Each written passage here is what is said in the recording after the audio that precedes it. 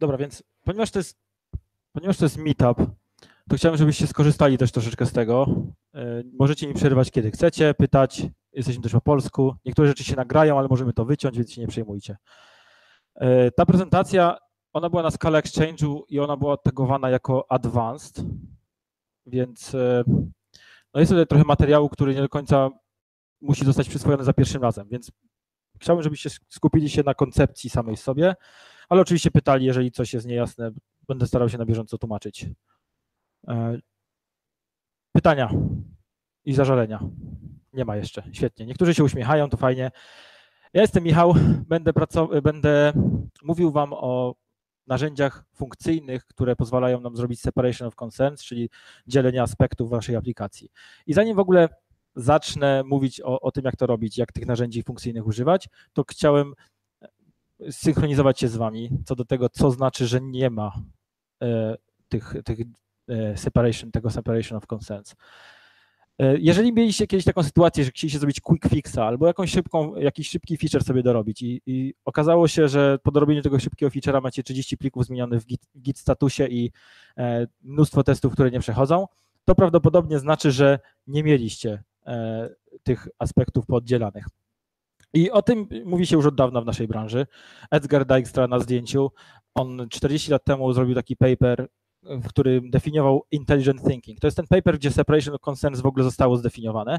Intelligent thinking to jest coś takiego, że macie w waszym software'ze możecie sobie zobaczyć te wszystkie aspekty i możecie sobie do jednego aspektu zejść, myśleć tylko o nim i wiecie, że tak naprawdę zmiany w nim nie muszą być e, nie muszą być zależne od zmian w innych, prawda? Czyli w momencie, kiedy możecie myśleć sobie o tym jednym aspekcie swojego softu w całkowitej izolacji, E, wtedy jesteście w stanie myśleć, czy jesteśmy w stanie myśleć inteligentnie o tym, bo nasze mózgi są mimo wszystko małe, więc czym mniejsze te części, o których myślimy, tym, e, tym lepiej. I teraz w jaki sposób możemy w ogóle do tego podejść? Ja będę używał takiego diagramu na tej prezentacji. Mam nadzieję, że widać. Te na dole to są takie granatowe, te na górze to są takie szare. Szare to znaczy biznesowe aspekty, E, te niebieskie to są takie techniczne e, aspekty. I teraz moje założenie jest takie, że powinniśmy dzielić zarówno na biznesowe i techniczne, jak i po drugiej osi, czyli tak bardziej prostopadle, na różnego rodzaju e, techniczne, na przykład logowanie metryki baza danych, E, tak samo na biznesowe feature'y. I to wszystko powinno być osobne klocki, o których możemy sobie po prostu wejść i pomyśleć e, osobno. Więc takiego diagramu będę używał. Dodatkowo będę jeszcze używał strzałek. Strzałka znaczy, że dany moduł, jeżeli ma strzałkę z jednego do drugiego, wie coś, cokolwiek o tym module, do którego strzałka pokazuje. I teraz to jest taki teoretyczny model. Teraz co znaczy, że, że, że te aspekty są oddzielone? Jeżeli nie ma żadnej strzałki wychodzącej tak naprawdę, czyli dany moduł, dany aspekt nie wie nic, nie musi wiedzieć niczego o tym innym aspekcie, o żadnym innym aspekcie, to znaczy, że rzeczywiście możemy o nim myśleć w całkowitej izolacji, prawda? Więc e, tutaj będę zaznaczał też takim czerwoną, grubą krechą te, które są odizolowane. I to jest dość fajny przypadek, prawda, bo mamy siedem siedem aspektów w tym, w tym przypadku, pięć aż jest zupełnie e, niezależnych od siebie, możemy sobie do nich wejść i myśleć o nich w, w zupełnym odosobnieniu. Możemy o nich myśleć inteligentnie według Etzgera e, Dajskry. Więc czym więcej w naszym softie jest takich czerwonych klocków, czyli bez żadnych strzałek wychodzących, tym lepiej. Okay? I teraz dlaczego w ogóle chcemy to robić? Troszeczkę Etzger odpowiedział, inteligentnie myśleć o naszym softie, ale druga, druga odpowiedź dlaczego dla mnie zawsze to było takie oczywiste, ale, ale niedawno, nie, niedawno miałem takie, e, e, tak sobie pomyślałem, że to nie jest chyba takie jednak oczywiste, bo ja w softie tego tak często nie widzę. Więc e, jak to wygląda w rzeczywistości? Gdybyście wyobrazili sobie, że jesteście takimi designerami parków i innych rzeczy i sobie zadesignowaliście parki, i zrobiliście sobie taki właśnie skwerek zielony, okrągły, tak żeby było przyjemnie, nie? bo w parku się spaceruje, więc spacerujemy, spacerujemy i chodzi o to, żeby oczy nasze cieszyły się taką zielenią, takim, e, takim czymś okrągłym. No ale e, życie wchodzi w grę e, z butami, ludzie się spieszą i robią sobie takie skróty. No i tak samo jest w naszym, w naszym oprogramowaniu. Nie? My sobie coś zaprojektowaliśmy, to warstwy abstrakcji, mamy logikę, logikę low level logic, mamy biznes, jakiś tam DB access, prawda, ale e, my e, nawet, ja nie mówię inni, ale nawet my za 6 miesięcy, prawda? My jesteśmy, mamy presję, możemy tak zrobić, bo czemu nie? Możemy tak zrobić, przechodzimy przez ten skwerek, no i w ten sposób wydeptujemy tę ścieżkę, cała, cały experience, całe doświadczenie związane z tym parkiem dla innych e, tak naprawdę jest całkowicie, całkowicie zniszczone. I ten park zaczyna wyglądać już nie jak park ładny i przyjemny, tylko jak po prostu zbiór losowo wydeptanych ścieżek. Mam nadzieję, że mniej więcej kojarzycie e, metaforę. E, więc developer experience, czyli my, deweloperzy, i mówię o deweloperach, naszych kolegach, o sobie, o naszych, o, o, tym, jak będziemy w przyszłości ten soft utrzymywać, my musimy sobie założyć kaganiec, ja to mówię założyć kaganiec, świadomie założymy sobie kaganiec, czyli używajmy tuli, które za, nie zapewnią, ale pomogą nam znaleźć te miejsca albo znaleźć te miejsca, gdzie te ścieżki mogą być deptane i blokować, jak najbardziej blokować, tak żebyśmy świadomie deptali te, te ścieżki, ale tak świadomie, świadomie, że musimy złamać mnóstwo, mnóstwo różnych reguł, żeby w ogóle coś takiego zrobić, bo czasami może trzeba, ale to musi być bardzo, bardzo trudne, więc musimy mieć takie narzędzia, które nam e, to zapewnią. I te narzędzia, jednym z tych narzędzi, nie jedynym, jest na przykład właśnie Freemonada, kto w ogóle cokolwiek o Freemonadzie słyszał? To będzie pierwsze pytanie. Zostawcie rękę w górze. Kto używał? I zostawcie rękę w górze na produkcji. Dobra. E, czyli wyglądało to tak, że było większość rąk w górze, później zostały cztery, a na końcu zostało zero, tak? E, bo to jest narzędzie, to narzędzie jest dość trudne w użyciu, bo da się zrobić to wszystko prościej. I teraz tutorialowe przykłady e, zazwyczaj właśnie tak wyglądają, że da się to zrobić wszystko prościej, bo free dopiero zaczyna błyszczeć w momencie, kiedy mamy większe, większą aplikację. I właśnie dlatego chciałem taką stworzyć taki przykład, który byłby dalej w miarę prezentacyjny, czyli dałoby się o nim popowiadać w 45 minut e, albo zrobić workshopa 4-godzinnego, ale który pokazuje takie właśnie rzeczy, które też w takim prawdziwym softie e, enterprise'owym i innym e, znajdziemy. Dlatego właśnie tak wygląda ten, ten, ten, ten mój przykład. To będzie dylemat więźniów, o którym zaraz troszeczkę powiem dla ludzi, którzy, którzy nie kojarzą albo zapomnieli. I później przejdziemy sobie przez trzy aplikacje, które dotyczą tego właśnie dylematu więźniów. To będą trzy aplikacje, które będą miały e, wiele aspektów do siebie podobnych i re, będziemy reużywać tych, te, tych rzeczy, które, które się da reużywać. Będziemy myśleć o pojedynczych klockach e, w naszym, w naszym softie w izolacji, czyli tak w miarę inteligentnie. I e, w drugiej części powiem Wam troszeczkę o freestylu, który niektóre z problemów związanych z free i z katsami w skali rozwiązuje. Więc przykład. Jaki to będzie przykład? Dylemat, dylemat więźniów nietrywialny przykład, który, który ma demonstrować nam takie prawdziwe rzeczy, które mamy w naszym softie. Więc mamy dwóch więźniów, oni są od siebie odizolowani i e, obaj są pytani co do tego, czy ten drugi jest winny, czy nie jest winny. I mają dwie, mają dwie odpowiedzi możliwe. Mogą e, zwalić winę całkowicie na tego drugiego, czyli powiedzieć, że jest winny, albo e, zostać, nie mówić nic, czyli tak naprawdę nie zwalić winy na nikogo. No i ponieważ są dwie możliwe odpowiedzi, to mamy również cztery możliwe rezultaty jednej takiej gry. Możemy mieć e, dwóch, dwa razy powiedziane, że jest winny, wtedy dostajemy po trzy lata, to jest wynik tej gry. Możemy być, e, mogą dwaj więźniowie być e, cicho i wtedy dostaną po jednym roku. No i na zmianę, jeżeli zwalę winę na drugiego, a ten drugi będzie cicho, no to wygrałem życie, wychodzę sobie z więzienia, natomiast ten drugi dostaje trzy lata. Jest kilka, jest oczywiście mnóstwo różnych wersji tej, tej gry i to jest tylko jedna, natomiast bardzo często gra się w coś takiego jak Repeated Prisoner's Dilemma, czyli rozgrywa się daną grę wielokrotnie, wielo, wielo, wielokrotnie i wtedy mamy już takie long term, takie strategie długoterminowe, prawda? Więc możemy się, możemy się zachować w taki lub inny sposób i jest mnóstwo researchu na ten temat teraz prowadzone i, i ludzie próbują wyciągać z tego wnioski na temat y, na, na naszego społeczeństwa, zaufania w społeczeństwie i tak dalej. E, I to jest, no więc taki dość, e, dość ciekawy przykład. Możemy, e, możemy sobie zrobić teraz taką aplikację, która będzie naszym takim, taką bazą, softem, dzięki któremu będziemy mogli różnego rodzaju takie strategie sobie przeprowadzać. Więc zrobimy sobie gierkę taką, gdzie się gra przy jednym komputerze, zrobimy sobie, to będzie jedna aplikacja, zrobimy sobie gierkę, gdzie gramy z botem i zrobimy sobie gierkę, gdzie gramy po sieci. Z, z użyciem Akki, której widzę, ludzie lubią bardzo Akkę, to zobaczymy, jak można jej użyć. Hot seat game. Hot seat to znaczy właśnie e, gorące pośladki, tak? Gorące pośladki, czyli gorące pośladki siedzą przy jednym komputerze i klikają sobie w, gierkę e, na jednej klawiaturce. Oczywiście. Tak to wygląda. Będziemy robić konsolowe gry, bo tak jak mówiłem, to jest przykład prezentacyjny, musimy się w 40 minut wyrobić. Czyli pytanie do kim jesteś, pytanie do drugiego więźnia, kim jesteś, później zasłaniamy ekran i klawiaturę, odpowiadamy na pytanie, E, czy ta druga osoba jest winna, później zasłaniamy ekran, żeby ta druga osoba mogła odpowiedzieć, no i na końcu komputer wyświetla nam werdykt. W tym, w tym przypadku bardzo fajni, bardzo fajna ekipa, Adam i Jane po jednym roku tylko dostali, bo po, postanowili być cicho. Tak wygląda Hot Seat Game. I teraz implementacja. Czysta skala najpierw, żebyśmy mniej więcej poczuli. Zaraz będziemy liczyć sobie aspekty, słuchajcie, więc już liczcie, ile tu będzie aspektów, ile z nich będzie izolowanych, separation of concerns i tak dalej. E, zrobiłem sobie to tak.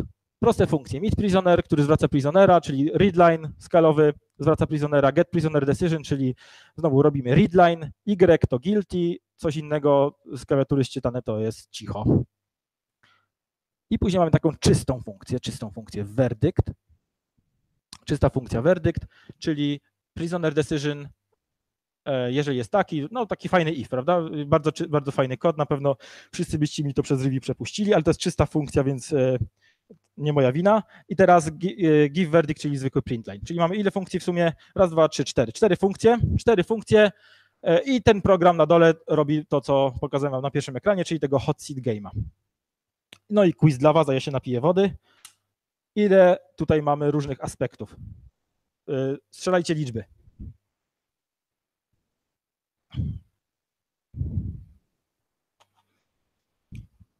Podpowiedź. Mamy, y, jednym z, z, tych aspektów będzie po prostu logika gry. Logika gry polega na tym, że musimy dwóch prisonerów najpierw y, pobrać, później musimy decyzję od, od, nich pobrać, a na końcu musimy im wyświetlić werdykt. To jest logika biznesowa, prawda? No, załóżmy, że tak to nazwiemy, czyli ta szara. Czyli to jest jeden. To ile jeszcze nam zostało? I ona będzie korzystała z tych in, innych, więc one wszystkie są tutaj na ekranie. Ja tak naliczyłem się cztery, pewnie możemy się pokłócić o to. Ja naliczyłem się cztery, czyli mamy tak, mamy właśnie tego hot seat y, logikę, tą, którą wam pokazałem, to jest na ekranie. I mamy y, computing verdict, to jest po prostu ta funkcja czysta, która jest taka brzydka z ifami. Y, interakcja z graczem, czyli to, że w ogóle musimy pobrać decyzję, musimy e, po, pobrać imię i tak dalej, te wszystkie rzeczy związane z tym, jak z graczem się zachowujemy. I na końcu mamy ten niebieski, techniczny, my to używamy do tego konsoli, printliny, readliny i tak dalej, prawda? Więc to są takie cztery. A teraz ile, e, drugi quiz, ile z nich to jest całkowicie wyizolowanych, biorąc pod uwagę tę definicję, którą wam przedstawiłem na początku? Ile jest wyizolowanych? Czyli nie wiedzą o niczym więcej, nie ma żadnych innych wychodzących strzałek. Jeden. Tylko ta czysta funkcja, tak? Bo ta czysta funkcja nie wie o niczym. Po prostu dostaje dwie decyzje i musi zdecydować, co, co z tym zrobić. To jest jedyna rzecz, która jest wyizolowana. Cała reszta w jakiś tam sposób zależy o, od siebie. I teraz okazuje się, że nawet w tym prostym przypadku już możemy dwie strzałki zlikwidować możemy być e, jeszcze lepsi. Przy użyciu free możemy zlikwidować te dwie strzałki, które tutaj wykreśliłem. E, I dzięki temu zyskujemy kolejny aspekt, który jest całkowicie wylizowany, mianowicie interakcję z graczem. Czyli nawet dla takiego prostego przykładu, przy użyciu takiego tula, troszeczkę to jest overengineering, ale mimo wszystko usuwamy przynajmniej jeden, e, przynajmniej dodajemy sobie jeden aspekt, będziemy mogli o jeszcze jednej rzeczy myśleć bardziej inteligentnie, bo w izolacji od innych, prawda? Więc to o to chodzi. Dwie strzałki usuwamy, ten kod jest mniej, mniej związany ze sobą. Teraz w jaki sposób możemy to zrobić, już Wam pokazuję. Czyli tak, mamy ten werdykt, czyli to jest ta czysta funkcja, nie będę już pokazywał, to jest pierwszy koncept. Drugi czy aspekt. E, drugi aspekt, interakcja z graczem. No i teraz we free robimy to w ten sposób. Dużo osób już widziało, więc, e, ale powtórzę tak czy siak. E, jesteśmy w skali, więc to jest troszeczkę wszystko takie, no, jak widać, dużo, dużo, dużo, dużo znaków. Ale o co chodzi? Mamy tego straighta, który tak naprawdę jest zestawem operacji player i później mamy trzy różne operacje. Czyli teraz mamy, definiujemy sobie, co znaczy, in, in, co znaczy interakcja z graczem dla nas, czyli, czyli tworzymy zestaw operacji związanych z interakcją gracza. Jedna operacja to jest meet prisoner, która zwraca prisonera, druga operacja to jest get prisoner decision, która zwraca decyzję tego, tego gracza, jak widać, i trzecia to jest po prostu dawanie werdyktu, czyli przekazywanie werdyktu temu graczowi. Ona zwraca unitę, jak widać w tej ostatniej linijce, bo tak naprawdę to jest właśnie coś, co będzie tylko informowało gracza, nie będzie zwracało nam niczego więcej. No w naszym przypadku to jest tylko, to jest tylko e, przykład. I zauważcie, że tutaj nie ma nic o konsoli, nie ma nic, nic o printline, nie ma nic o readline, nie ma niczego takiego. Po prostu e, jedyne co robimy, to definiujemy, co znaczy z tym graczem się komunikować.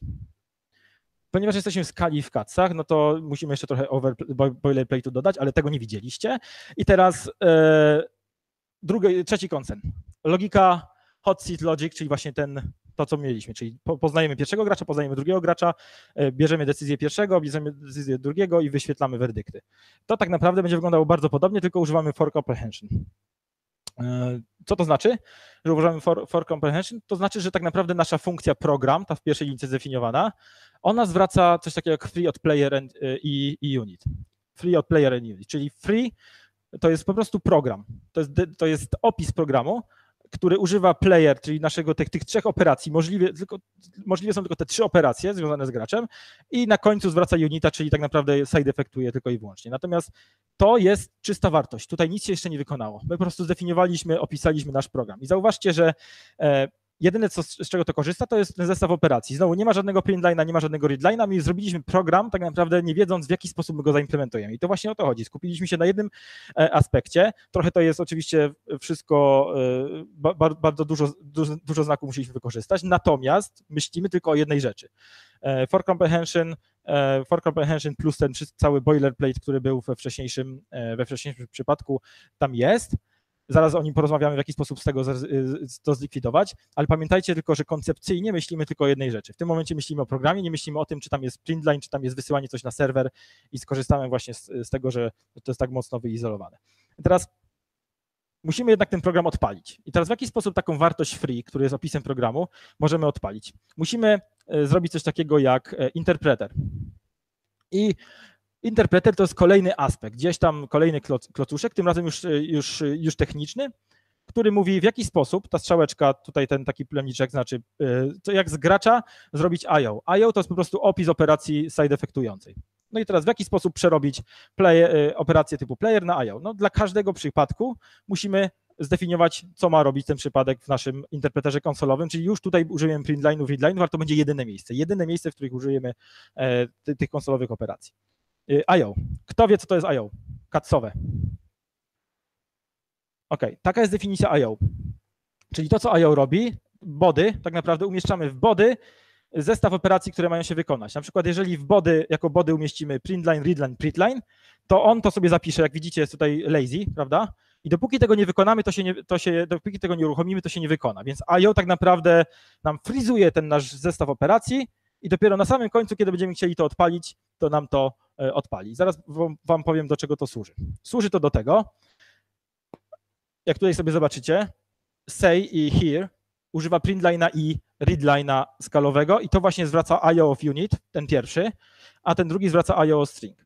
I to, co my tutaj zrobiliśmy, to my właśnie wzięliśmy tego printline'a, wsadziliśmy go w IO, to znaczy, że ten printline się nie odpali, dopóki my, e, dopóki my jesteśmy w tym kontekście E, IO. Więc dzięki temu możemy sobie robić program, który dopiero będzie odpalony na samym końcu, na samym końcu naszego świata, co wam pokażę. Czyli w tym momencie mamy program, który nic nie wykonuje. Robi, to, co robimy, to robimy interpretację z playera, czyli meet prisoner, get play, prisoner decision i give verdict na IO, czyli na czyste operacje IO, ale ich jeszcze nie wykonujemy. Na razie tylko mówimy o opisie tych operacji. Czyli IO to jest opis operacji związanych z side effectami. I tak by wyglądała nasza, nasz interpreter. Zobaczcie sobie, robimy po prostu case'a, zwykłego, zwykłego pattern matcha. Bierzemy playera, robimy meet prisoner, dla case'a meet prisonerowego robimy say, say, here i say, czyli introduction, what's your name i przywitanie i zwracamy, yeldujemy for comprehension prisonera. I to wszystko się dzieje w kontekście IO, czyli IO of, od A to znaczy to jest zestaw operacji, które side effectują i na samym końcu zwrócą element typu A, czyli dla meet prisonera dla get prisoner decision i give verdict. Give verdict, ten ostatni to jest najprostszy przypadek, czyli po prostu e, wypisujemy werdykt na konsolę, prawda? I zobaczcie, znowu jesteśmy tylko w tym jednym klocuszku. Mówimy tylko e, jak zaimplementować każdą z tych operacji. Nie wiemy, w jakim programie będzie używana, wiemy tylko o tych operacjach, możemy tylko myśleć o nich e, jako, jako o jednej całości, bez względu na to, w jaki sposób zostanie wykorzystana. Ona tylko wie o tym, o czym musi w tym przypadku, że mamy trzy możliwe operacje związane z playerem. Jakieś pytania co do tego?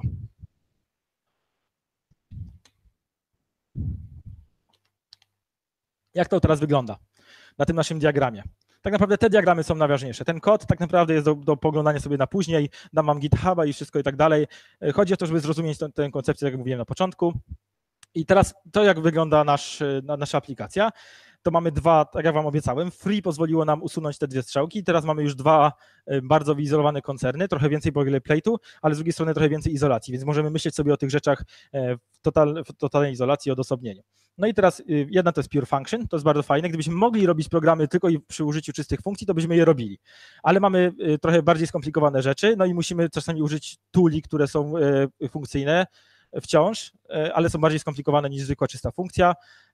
I to na przykład, na przykład właśnie to jest free, czy tagless, o którym powiem na samym, na samym końcu. Więc robimy to dlatego, żeby móc komponować te rzeczy, które są, są niezależne. I znowu ta czerwona ramka oznacza, że, że, że to jest wyizolowany aspekt. I teraz do tej pory my tylko sobie zdefiniowaliśmy te pojedyncze klocuszki, ale nic jeszcze nie odpaliliśmy. I teraz właśnie odpalamy. To się nazywa koniec świata. Koniec świata. Na końcu świata to, co my robimy, to bierzemy ten nasz program, ten, który zdefiniowaliśmy. To kropka program to jest właśnie, kropka program to jest ten programik meet prisoner for comprehension. Meet prisoner, meet prisoner, get decision, get decision, give verdict, give verdict, czyli ten taki for comprehension z sześcioma e, operacjami i sobie go odpalamy. I to, co dostaniemy, w komentarzu tam napisałem, co my dostaniemy, to jest po prostu free od player of unit, prawda? Bo ten program właśnie zwracał nam e, wartość free, czyli opis tego programu, e, który używa operacji typu player i zwraca unita. I teraz tym momencie, jak to odpalimy, to się nic nie stanie. Aplikacja się odpali, obliczą się te czyste wartości typu free, po czym wyjdzie. I nic się nie wyświetli, nic się nie stanie, nic nie wybuchnie. Dodamy tę, linijkę kolejną, która y, właśnie interpretuje, fold map, czyli interpretuje, bierze ten nasz program z tym for i dla każdej meet prisoner, a to muszę zinterpretować na printline'a, tak? I readline'a. Y, to muszę zinterpretować na to, to co robiliśmy przed chwilą, czyli y, dostaniemy IO of unit, tak? Bo my interpretowaliśmy operację player na IO. I w tym momencie, jak to odpalimy, to też się policzają czyste wartości free, czysta wartość IO i program wyjdzie, nic się nie stanie. Dopiero teraz, jak klikniemy kropka unsafe, run, sync, nawias, teraz dopiero zwrócimy, dostaniemy tego naszego unita wymarzonego, bo o tego unita nam właśnie chodziło, no i o te wszystkie side efekty, które się przy tym, przy obliczaniu tego unita wykonają. Tak? Dopiero teraz odpalimy nasz program, to się zrobi e, hello, who are you, your decision is i tak dalej, i tak dalej. Czyli dopiero teraz mamy tego naszego hot seat game'a. Do tego momentu, do tej ostatniej linijki nic, naszym, nic naszej aplikacji się nie stało, nic się nie odpaliło. I następne rzeczy, o których będę mówił, zaraz po wprowadzeniu freestyla, to będzie, to będą jeszcze większe rzeczy, które możemy też w takich malutkich klocuszkach sobie odpalać y, i będą odpalały system aktorowy, remote'owy, nie remote'owy, ale dopiero jak klikniemy kropka unsafe run sync, dopiero, dopiero wtedy.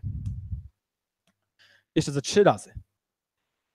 Ale zanim to się stanie, to muszę wam właśnie opowiedzieć o tym boilerplate nieszczęsnym, bo tak wyglądałoby definicja naszej, naszego DSL-a playerowego, czyli trzy operacje, które my definiujemy jako możliwa interakcja z graczem, tak w kacach by to musiało wyglądać w tym momencie. I zresztą skala Z też bardzo podobnie. Czyli musimy tam robić te wszystkie tyki z injektowaniem i tak dalej. To nieważne, żeby zrozumieć w tym momencie. Pewnie osoby, które już próbowały robić jakieś bardziej skomplikowane przykłady, to wiedzą. E, no ale to nie jest przyjemne, bo to jest copy-paste, nikomu się później nie chce dodawać nowej operacji, kończy się tak samo jak, jak z tym parkiem, który pokazałem na, na początku. E, dlatego właśnie powstał freestyle. Freestyle opiera się na kacach, ale dodaje parę, e, parę fajnych rzeczy, parę fajnych makr, które nam pozwalają pisać tyle, ile naprawdę trzeba pisać, żeby y, te nasze klocki zdefiniować. I teraz tak będzie wyglądała nasza, nasza algebra player. Czyli robimy małpa free, to jest ten, no, właśnie ten Mm, ten, to makro, które, które nam cały ten katsowy boilerplate wygeneruje e, w compile time. No i mamy to, co mieliśmy do tej pory. Meet prisoner, który zwraca prisonera, get player decision, który zwraca decision i give verdict, który zwraca unit. I to jest tyle, co musimy napisać i już możemy z tego korzystać jako, jako z free. Czyli wszystkie te fajne rzeczy związane z tym, że myślimy w izolacji są, nie musimy się y, tym boilerplate'em przejmować. W jaki sposób w takim razie interpretujemy to wygląda znowu bardzo podobnie, tylko trzeba ekstendować player.handler, który jest wygenerowany automatycznie przez to makro. E, I żeby do IO zrobić, to musimy po prostu zaimplementować te metodki. I tyle. Czyli meet prisoner get player decision i ten, jak widzicie, give verdict. Czyli to wygląda po prostu tak bardzo, bardzo elegancko, nie musimy żadnego boilerplate'u pisać. Jedyne co, to musimy zaimplementować to, co naprawdę musimy my jako programiści zdecydować, co ta aplikacja, co ten modulik powinien mały, malutki, malutki robić. I tak naprawdę e, tyle. Dokładnie to samo free, Dokładnie to samo katsowe free, które pokazałem na początku. Freestyle jedyne co robi, to ucina ten boilerplate i pomaga nam po prostu, te, żeby ta aplikacja miała y, sensowną liczbę linijek, mimo wszystko. Dobra. W takim prawdziwym życiu to zawsze jest tak, że napiszemy sobie tą naszą pierwszą wersję aplikacji, później zaraz ktoś przyjdzie i po, poprosi o coś nowego albo żeby coś zmienić. Nie?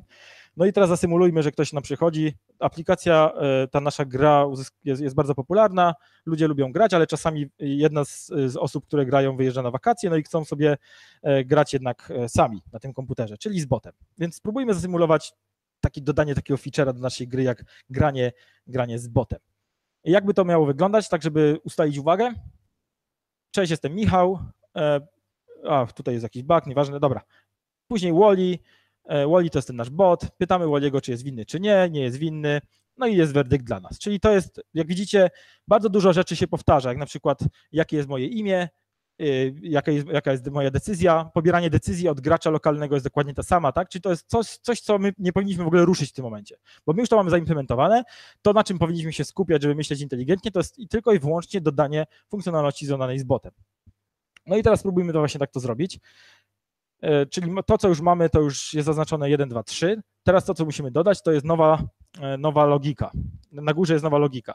To nie będzie logika związana z graczem lokalnym dwukrotnie, tylko będzie logika związana z jednym graczem lokalnym i z jakimś graczem nieznanym. Dlatego nieznanym, bo chcę jeszcze, no to jest troszeczkę na, na potrzeby tej prezentacji, tak nie, nie zrobiłbym, gdybym tak szedł po kolei normalnie, ale my będziemy też robić ten, ten sam unknown opponent logic będziemy wykorzystywać do gry po sieci między dwoma żywymi graczami. Czyli my teraz zdefiniujemy sobie unknown opponent, nie wiemy z kim gramy, z botem czy z żywym człowiekiem i dokładnie to samo będzie wykorzystane teraz i w przypadku gry sieciowej. I teraz ten unknown opponent logic będzie wykorzystywał nową naszą opponent interaction, który zaraz wam pokażę jak zdefiniować, a to będzie tak naprawdę jakiś bot, który technicznie zdefiniujemy sobie na przykład jako tam hash mapa decyzji czy, czy coś takiego. Zaraz, zaraz do tego dojdziemy. Ale najważniejsza rzecz, myślimy w pojedynkę o tych wszystkich e, aspektach. Pierwszym aspektem jest, co to w ogóle znaczy e, e, komunikacja z naszym przeciwnikiem w tym przypadku. Nie? To już nie mamy dwóch graczy lokalnych, tylko teraz już mamy tego przeciwnika. Jak widzicie, tutaj, nie, tutaj nie, nie potrzebujemy trzech operacji, bo nie musimy na przykład wyświetlać werdyktu temu, temu, temu graczowi, temu, temu naszemu oponentowi, temu naszemu przeciwnikowi. Jedyne, co musimy, to go poznać, jak się nazywa, żebyśmy wiedzieli, jaką decyzję co do niego podjąć, czy jest winny, czy nie, jako gracz lokalny i musimy jego decyzję podjąć, y, pobrać, w cudzysłowie, żeby wyświetlić werdykt.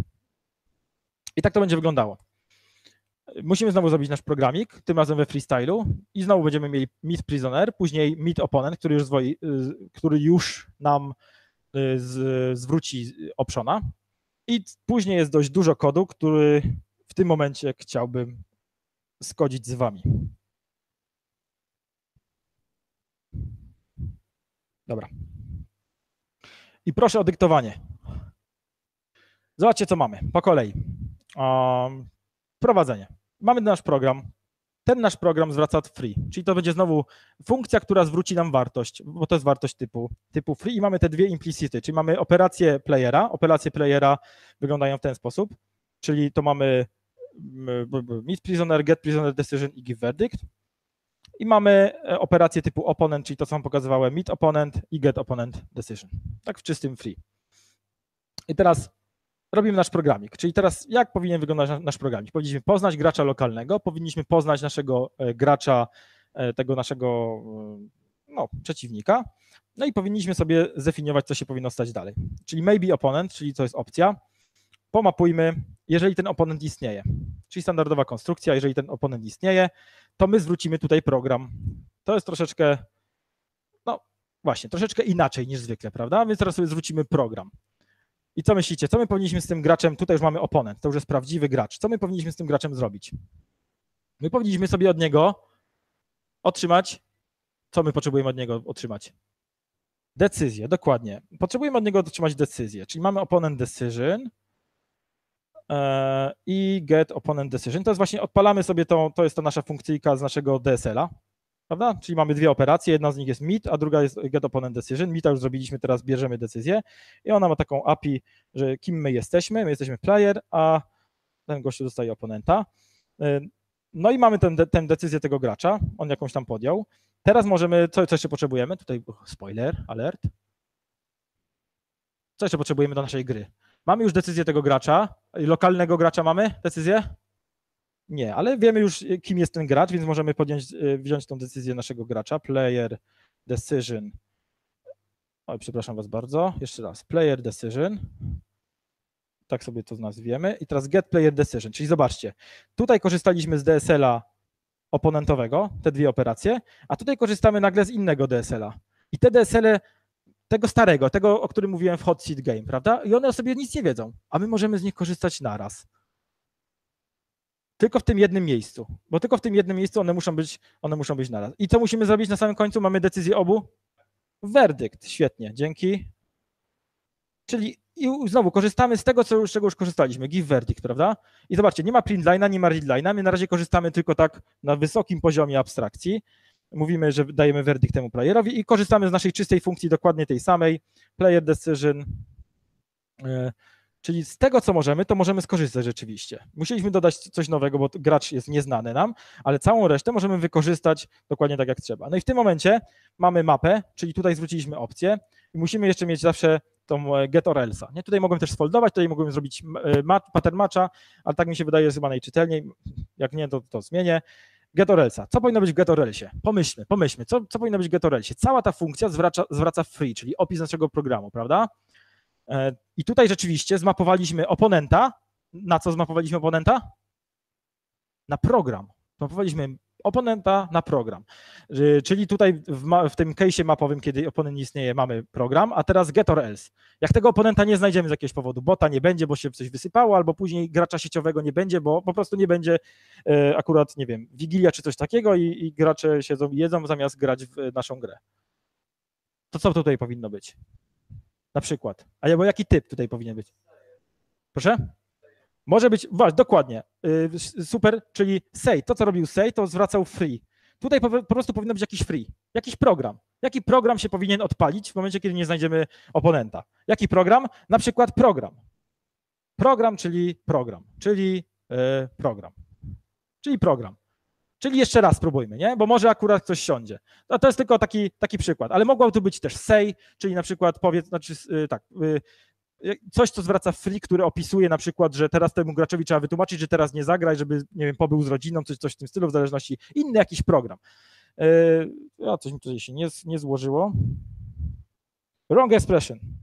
Dlaczego jest wrong expression? Bo to ma być for, for comprehension, tak. Yy, yield i co tutaj będziemy yieldować? Unita. Yy, tak, no i teraz to się kompiluje, teraz to zadziała. Single player app będzie wyglądał w ten sposób. Czyli rzeczywiście mamy programik, on się odpali, najpierw, yy, najpierw yy, moje imię, później czy Wally jest guilty, ja powiem tak, dostałem 0 y, lat, bo akurat Wally zdecydował, że, że nie jestem winny. No i frajer, nie? No i tyle. Dobra. Tak to wygląda. Pytanka co do tego, tego kodziku. Czyli widzicie, przechodzimy na trochę inny poziom abstrakcji. Mówimy o pisaniu programach w programach, nie? Czyli free, free, free. E, a to, jak to, jak to ja to odpaliłem, zaraz wam pokażę, jak to odpaliłem, bo tutaj nikt mnie nie pytał. Jakbym to tylko odpalił, to się by nic nie stało, bo to jest coś, co zwraca wartość i później wychodzi, tak? Więc zaraz pokażę, jak to odpaliłem. Pytania najpierw. Co do samego tego programu, pamiętajcie, jeden klocek wyizolowany. Mówimy tylko i wyłącznie o tym, jak ma działać algorytm biznesowy związany z graczem, który jest przeciwnikiem, którego nie znamy. Nie mówimy, w jaki sposób tego gracza poznajemy, nie mówimy, w jaki sposób, czy to jest bot, czy to jest gracz sieciowy, w jaki sposób tych graczy sieciowych poznawać ze sobą, matchmaking robić i tak dalej. Nie mówimy nic o, nic o tym.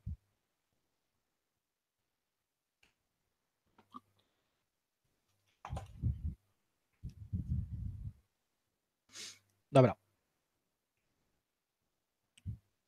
Czyli tak to wyglądało. I ja też, ja, ja, rozumiem, że to może być, y, to może dziwnie wyglądać. Dlatego jednemu z moich kolegów wysłałem taki ten fragment kodu, kiedy pisałem właśnie na GitHubie pierwsze workshopy. To tak wiecie, tak w ramach czeka po prostu wysłałem, wysłałem Tomkowi y, y, na Slacku po prostu, co myślisz o, o czymś takim w takim problemie. Nie? I wiecie, i on mi wysłał obrazek z powrotem. O, Dokładnie coś takiego mi wysłał, y, że tak się czuje, kiedy, kiedy to czyta. No i ja to rozumiem. Dlaczego w takim razie mimo wszystko robię tę prezentację i myślę, że to może mieć sens? Po pierwsze dlatego, że wydaje mi się, że nie mamy innych tuli lepszych, niestety. Po drugie, ten for comprehension wygląda jak wygląda, ale z drugiej strony on też nam daje coś fajnego. Jak widzę for comprehension w kodzie, to jestem przekonany właśnie, że to już mówimy o, o działaniu na wartościach. Czyli mamy czystą wartość, czystą wartość, obliczamy kolejną czystą wartość, jestem spokojniejszy o, o to, że nikt tam nie wcisnął w tym for comprehension jakiegoś side effectu. Można, ale to bardzo, bardzo brzydko wygląda i to widać na pierwszy rzut oka. Kiedy normalnie mamy takie, wiecie, funkcja za funkcją, to nie wiadomo, czy ta funkcja rzeczywiście coś side effectuje, czy nie. Więc można się do tego przyzwyczaić. Yy, narzędzia jak każde inne. No w Haskellu rzeczywiście to trochę lepiej wygląda tutaj. Ciężko mamy się w skali obronić przed tym. I teraz w jaki sposób to, to odpalić w takim razie? Proszę? OK, tu jest zdanie, że dużo lepiej nie wygląda. OK. No nie, no wiecie, czytelność kodu. Czytelność kodu przecież zależy od wielu czynników, prawda? Od tego, co, co już wie, znamy, co już wiedzieliśmy, co nam się sprawdzało, co nam się nie sprawdzało. Każdy tak naprawdę ma trochę inną opinię i, i ja się z tym jak najbardziej liczę. E, dobra, Zobaczcie, mamy tego naszego player console handlera, czyli to jest to, co używaliśmy wcześniej. To jest to, jest to co brało meet prisoner i zamieniało na printline, readline, printline, readline. To jest dokładnie to samo, co już mieliśmy. Czyli to jest zamiana player, interaction tych trzech operacji na IO, czyli coś, co opisuje nam side effecty. I teraz mamy ten nasz nowy program unknown e, opponent. Kropka program zwraca oczywiście unita. I teraz mamy coś takiego jak małpa module, to jest kolejne makro we freestylu, nie jest ważne to, co to robi, tak naprawdę to jest takie dependency injection na poziomie compile time'a, czyli jedyne, co mówi, to potrzebujemy mieć zestaw operacji player i zestaw operacji opponent i on nam to w compile time dostarczy, jeżeli to jest. I robi jeszcze jedną dodatkową rzecz, właśnie o którą teraz e, będę was pytał, tak troszeczkę, mianowicie, kiedy mamy ten e, free, który używa unknown opponent ops i zwraca unita, to jest dalej program. Jak go wykonamy, to się nic nie stanie, ale kiedy to zinterpretujemy do I.O., czyli fold map, fold map y, jest w kacach, a interpret jest we freestylu, to co się stanie? On będzie potrzebował jaki, y, y, od nas informacji, w jaki sposób playera zamienić na I.O., to już wie. Tak? To już wie, bo już to zdefiniowaliśmy. To są, to są te trzy operacje, printline, readline i tak dalej. Ale w jaki sposób ma oponenta?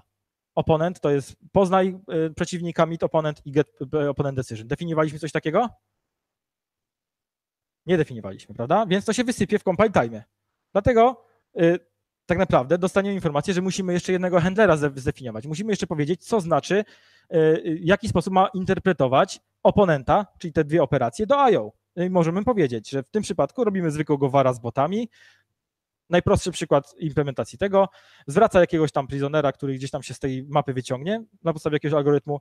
No i get opponent decision to jest po prostu E, no, jakiś tam, jakiś tam algorytmik, który wyciąga e, z, tej mapki i get silence. Czyli jeżeli nie ma decyzji tego bota w mapie, to po prostu będzie cicho, prawda? Dlatego też wygrałem, bo chyba najczęściej, ponieważ ta mapa jest pusta. Ale ogólnie chodzi o to, że my tylko w tym miejscu definiujemy, jak się ten bot zachowuje, nigdzie indziej. Nie, nie musimy definiować programu, nie musimy niczego więcej robić. Dodajemy sobie tego opponent handlera, i robimy kropkę save sync oczywiście i wtedy dopiero nam się to odpala, ten bocik z warem, on sobie tam jest i to i, i to zadziała. Zobaczcie, czyli my, jest, jesteśmy w takich malutkich pliczkach. Cały czas robimy bardzo małe pliki, wszystkie te pliki mieszczą się na jednym ekranie, e, bo tak naprawdę my możemy właśnie o nich myśleć w, w odosobnieniu. Nie ma żadnego pliku, który ma 100 linijek, 50 linijek, tylko po prostu e, rzeczywiście każda z tych części jest całkowicie wyizolowana osobna i dopiero na końcu świata je wszystkie ze sobą łączymy i to będzie nasza największa, e, największa aplikacja, najwięcej kodu, naj, najbardziej gęste tak naprawdę to wszystko będzie, jak widać, jak widać tutaj. Więc jeszcze raz, Workflow jest taki. Definiujemy operacje i myślimy sobie o nich osobno. Na przykład interakcja z graczem, interakcja z przeciwnikiem, interakcja, y, w jaki sposób w ogóle y, y, gracza na konsolę przerobić, w jaki sposób po sieci coś wysłać. O tych rzeczach myślimy sobie osobno. E, tworzymy programy, używamy kompilatora do tego, żeby nam powiedział, czego nam brakuje. I uzupełniamy to, czego nam brakuje. I tak wygląda, i od początku, i tak wygląda e, workflow. Więc mniej więcej mam nadzieję, że, że przynajmniej taki, taki emocje co do tego, w jaki sposób się programuje, w ten sposób przeka, e, przekazałem. I żeby jeszcze was dobić bardziej, to dodajmy, dodajmy tą, te, te, te, tego sieciowego gracza, dobra? Sieciowego gracza. Będziemy korzystać dokładnie z tego samego, co już mamy. Jedyne, co potrzebujemy, to tego znaku zapytania tutaj, czyli remote oponenta, prawda? Ten, I ten drugi interpreter przelecę przez niego, ale on będzie hardkorowy. Już od razu powiem, będzie hardkorowy, bo to jest dużo kodu po prostu. Nie dlatego, że to jest trudne, tylko dlatego, że to jest dużo, dużo kodu. Mam nadzieję, że, e, że e, jedną tylko z tych, jeden z tych, tych przykładów e, jeden z tych przykładów wystarczy, żeby mniej więcej pokazać, w jaki sposób takiego remote oponenta zrobimy. AK remoting będzie, ale to dopiero na samym końcu, bo my zaczynamy od czego? Jaki wygląda logika poznawania gracza w sieci? Jak wygląda logika poznawania gracza w sieci? Jakie operacje my potrzebujemy, żeby tego gracza poznać? Więc, więc pomyślmy sobie, mamy gracza jednego, mamy gracza drugiego, nie wiadomo gdzie oni są, czas idzie w dół, no i najpierw przychodzi jakiś tam gracz A, załóżmy, załóżmy, i on się rejestruje, że on czeka, prawda? Czeka. No i teraz e, ten drugi gracz może sobie przyjść, może zobaczyć, zobaczyć jak, jacy gracze czekają i ewentualnie, jeżeli jakiś czeka, to sobie po, po, powiedzieć, dobra, e, dołączę do niego, prawda? E, a ten pierwszy może co jakiś czas sprawdzać, czy ktoś chce do niego dołączyć. Jeżeli tak, no to wtedy mamy matchmaking zrobiony, dwóch graczy ze sobą, e, dwóch graczy ze sobą się e, połączyło. I tak na poziomie semantycznym tak to może wyglądać. Takie, takie dwa, dwa programiki, które gdzieś tam się łączą. No i żeby tak coś takiego zaimplementować, to po prostu potrzebujemy znowu kolejny, kolejną naszą algebrę. I to działa dokładnie tak jak we wcześniejszych przypadkach, tylko nazywa się matchmaking. W tym przypadku jest pięć operacji, prawda? Register as waiting, dokładnie to, co widzieliście na poprzednim ekranie, czyli register as waiting, unregister, get waiting players, join waiting player, check if opponent join. Czyli mniej więcej, jak widzicie, to są kolejne operacje, które wykorzystujemy do naszego matchmakingu. I teraz ten programik sobie nazwiemy wait for opponent i find opponent. I to są programiki, które po prostu będą zwykłymi programami we free. Znowu, czyli zeszliśmy na jeszcze niższy poziom. Zeszliśmy na jeszcze niższy poziom. Mamy teraz program, który się nazywa Find Opponent, który zwraca free, czyli opis programu. No i jest taki gęsty kodzik, który to jest cały matchmake, to jest całe wyszukiwanie gracza. Więcej nie, nie będziemy potrzebować, jeżeli chodzi o taką logikę biznesową. Jest troszeczkę gęsty, ale z drugiej strony to jest naprawdę kilka linijek. Znowu for comprehension, więc trzeba się troszeczkę przyzwyczaić do, do tego. Ale get waiting players, join waiting player, wait for opponent, E, to są wszystko free. Już trochę zdradziłem, czyli wait for opponent to jest free. Tak, czyli mamy free we free, we free, później to wszystko i tak zwraca free. E, możemy się tym bawić jak, e, jak chcemy. Czyli mamy remote oponenta. Zdefiniowaliśmy sobie tak naprawdę tylko i wyłącznie zestaw operacji. Tylko zestaw operacji. I przypominam, że my już taki zestaw operacji oponentowych mieliśmy, y, z, mieliśmy zinterpretowany do tego bota, prawda, którego wam pokazałem. A teraz dokładnie ten sam zestaw opponent, czyli meet opponent i get opponent decision, będziemy chcieli zinterpretować do czegoś innego, co będzie bardziej związane z remote playerem. No i teraz właśnie, żeby to zrobić, to musimy e, to zinterpretować do czegoś. Czyli mamy kolejnego handlera, kolejny pliczek i jak myślicie, co będzie tam z, no, po znakach zapytania? Do tej pory było zawsze IO, prawda? IO, IO. A co, co będzie teraz? Teraz mamy trochę bardziej skomplikowaną logikę i nie chcemy mieć wszystkiego w jednym miejscu, chcemy mieć jak największą izolację. To co będziemy tutaj? Jak myślicie? Jakaś monada będzie musiała być. Co, co to może być za monada? To będzie free, czyli będziemy interpretować program, będziemy operację e, oponenta interpretować do free. Dzięki temu każda z tych operacji będzie tak naprawdę kolejnym free, e, free programem, natomiast to, co nam e, free, free zapewni, to jest, że jak dostarczymy dla każdego z, naszych zestawów operacji, dla każdej z naszych algebr odpowiednich handlery, interpretery, to to wszystko połączy ze sobą i zrobi z tego, z tego program, nie musimy się tym przejmować, musimy to tylko zdefiniować, tak jak pokazywałem wam tym wcześniejszym e, workflow. Więc zróbmy to, zróbmy to. Czyli teraz już zoom in, bo to już ten wykres się, znaczy ten e, grafika się robi bardzo skomplikowana, więc mamy te nasze opponent interaction, mamy tego naszego bot oponenta, którego wrzuciłem, mamy remote opponent, który e, interpretujemy do matchmakingu i teraz musimy zrobić handlera do tego matchmakingu. Żeby zrobić e, tego handlera, to tak naprawdę dopiero teraz mamy akkę, w końcu, tak? Czyli my mamy całe programy, sobie tworzymy, nie, nie wiemy w ogóle, co jest pod spodem, definiujemy dopiero technicznie, co jest na samym dole naszej hierarchii. W jednym pliku będzie tylko akka. Mimo, że cały program będzie na akce, to ta definicja będzie do, dopiero na samym końcu, więc nigdzie nam nasi aktorzy nie, wycie, nie wyciekną, nie będziemy mieli logiki biznesowej w aktorach, bo nie da się tego fizycznie zrobić, bo to robimy na samym dole. Żadnych, żadnych e, wycieków. Czyli mamy nasz matchmaking, to co zdefiniowaliśmy sobie jako zestaw operacji i teraz jedyne, co musimy zrobić, to musimy zrobić interpreter. Interpreter znowu mieści się mniej więcej na jednym ekranie z paroma wyjątkami, ale ogólnie to jest tyle. To jest moja cała akka. To jest jedyne miejsce, gdzie jest w ogóle akka zdefiniowana. Czyli mamy matchmaking, y, mamy jakiś tam actor selection, bo to jest remoting i mamy register as waiting, to jest po prostu wysłanie wiadomości. I overpowane w IO, żeby nie wysłał tej wiadomości, dopóki nie zrobi unsafe run sync na, na samym końcu świata. Unregister waiting to jest wysłanie wiadomości. No i oczywiście w IO, y, get waiting players to jest ask server, dokładnie na tej samej zasadzie, wszystko jest w IO y, i tak dalej, i tak dalej. Czyli mamy akkę, ona jest ubrana w IO, więc ta akka tak naprawdę nie wystartuje, dopóki my nie zrobimy e, końca świata. No i znowu mamy ten sam program, którego użyliśmy przy botach, nazywa się Unknown Opponent, on zwraca unita, czyli nic, nie, nic do tej pory nie działa. E, interpretujemy do free, tak jak wam obiecałem, do jakichś tam operacji multiplayerowych. Matchmaking to jest to, co zdefiniowałem. Player to jest to samo, co mieliśmy w, w przypadku naszego e, hot seat game'a. Oprócz tego musimy jeszcze mieć decision registry i timing, o którym nie mówiłem, a to są o wiele mniej, mniejsze przypadki niż ten matchmaking, który wam już pokazałem. Czyli to malutkie, malutkie wizualizowane klocki, o których mówiłem. I na samym końcu robimy e, interpretację do IO, czyli dwie interpretacje, bo mamy już dwa poziomy naszych programów i na samym końcu unsafe run sync. Wszystko jest wyizolowane, tak naprawdę mamy mnóstwo różnych, różnych aspektów y, i Akka jest tylko jednym z nich. To nie jest tak, że ona gdziekolwiek, y, gdzie, gdziekolwiek wyciekła. Więc cały ten e, program, trzy game mody, 15 różnych, naliczyłem się, się aspektów, 31 testów napisałem. Nie będę wam pokazywał testów, bo nie ma na to czasu, ale tak naprawdę wszystko, każda z tych rzeczy jest osobno przetestowana unitowo. Więc jak ja pisałem ten, ten, ten, e, ten, ten, tę aplikację, to tak naprawdę odpalałem, e, odpalałem na przykład grę sieciową na samym końcu i to rzeczywiście działało, bo to było wszystko wcześniej unitowo przetestowane. Takie TDD podejście naprawdę fajnie się, się, się, sprawdza przy free, bo to są bardzo szybkie testy. Można property, property-based testy robić, e, one są bardzo szybkie, one są bardzo stabilne i to naprawdę pomaga. Oczywiście interpretery, na przykład akkowe, już są trudniejsze w testowaniu, prawda? Ale to jest tylko y, testowanie interpretera. Nie testujemy całej logiki, która używa Akki, tylko testujemy rzeczywiście interpreter, który e, Akkę, Akkę ma.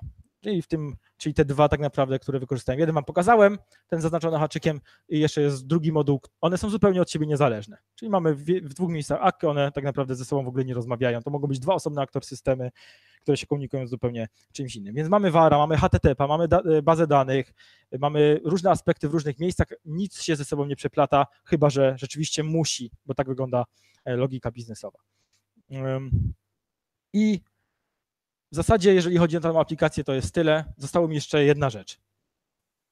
Co nam daje freestyle? Oprócz tego, co wam pokazałem. Daje nam dependency injection w compile time, czyli takie moduły. Mówimy tylko, których operacji potrzebujemy, żeby nasz program zadziałał i je możemy wykorzystywać, natomiast handlery zostaną dobrane e, do końca. E, Purecatsy korzystają z IDRK i to jest niestety, jak widzicie, bardzo, bardzo błędogenne i boilerplate'owe. Y, dzięki, dzięki temu, że mamy freestyle, nie musimy w ogóle takich rzeczy robić, to się robi za nas. Y, jaki jest jeszcze problem z free? Taki najważniejszy ludzie, jeżeli narzekają, oprócz tego, że to wygląda jak wygląda, to jeszcze narzekają czasami na to, że to tworzy dużo obiektów. Bo jak sobie zobaczycie flat map, czyli for comprehension, prawda, jak robicie kolejne y, wasze etapy waszego programu, to się robi map, flat map, map, flat map i tak naprawdę to, co zaznaczyłem, to jest kolejny obiekt się tworzy. Tak, kolejny obiekt się się tworzy. Więc dużo obiektów to jest taki GC heavy bardzo, prawda? I właśnie dlatego, jeżeli Wam to bardzo przeszkadza, to można użyć tego tagless finala. Koncepcyjnie, wszystko co mówiłem do tej pory, e, separation concerns, tak dalej, wszystko jest dokładnie tak samo. Tak naprawdę się tak samo z tego korzysta.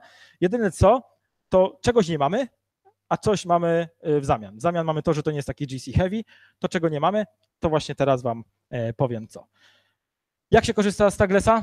To jest zwykły program, który Wam pokazywałem to jest zwykły program, który zwraca free, prawda? Meet prisoner free, każda operacja zwraca free, czyli to są funkcje, które zwracają wartość typu free, czyli opis programu. A tagless wygląda tak. I teraz tak, gdzie jest Wally, tak? Znajdź różnicę. E, więc Wally jest tam, to jest F. F jest e, zdefiniowane przez użytkownika. Czyli to nie jest free, F jest zdefiniowany przez użytkownika. Cała reszta zostaje, czyli kontekst zostaje. I co na tym zyskujemy? No nie tworzymy tego free, za każdym razem, kiedy, y, kiedy jest y, for comprehension. Nie tworzymy kolejnego, y, kolejnego obiektu. No chyba, że to F, to jest właśnie coś, co te, te obiekty tworzy. Ale możemy sobie wybrać jako użytkownicy, czy chcemy GC Heavy, czy, czy nie chcemy. I to tylko tyle. Możemy do Future'a, możemy do jakiegoś DBO Action, DBO Action, do czego chcemy. Użytkownik dopiero definiuje. Wszystkie inne koncepcje są dokładnie e, te same. Jakieś pytania co do tego, co to jest tagless?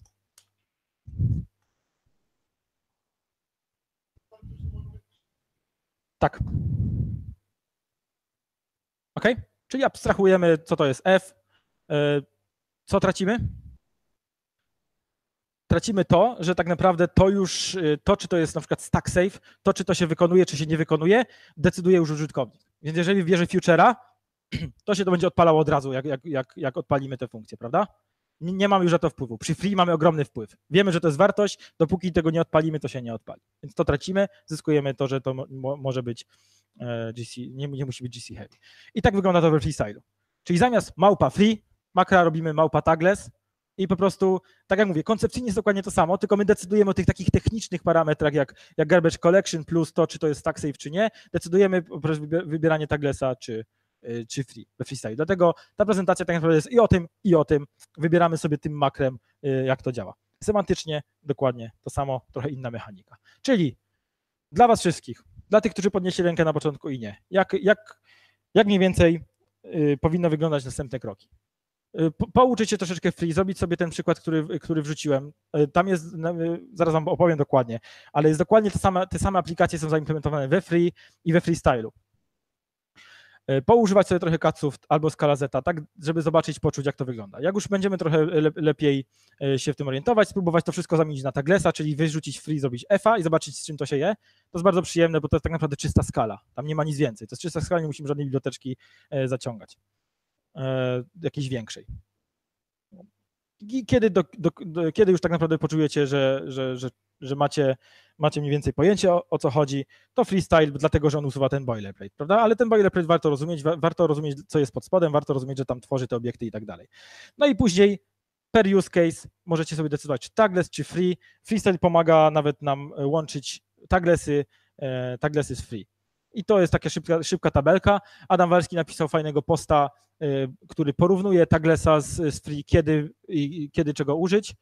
Y, są plusy i minusy każdego z nich, więc musimy sobie per case zdecydować. Na, na szczęście we freestylu to jest tylko kwestia wybrania małpa free albo małpa, y, małpa tagless, prawda?